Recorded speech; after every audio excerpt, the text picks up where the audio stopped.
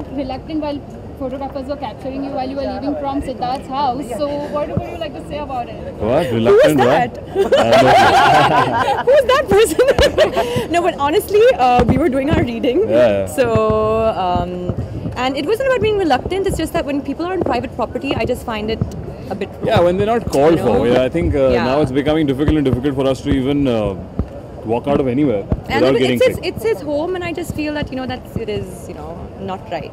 For more news and gossip, don't forget to subscribe to Bollywood Helpline.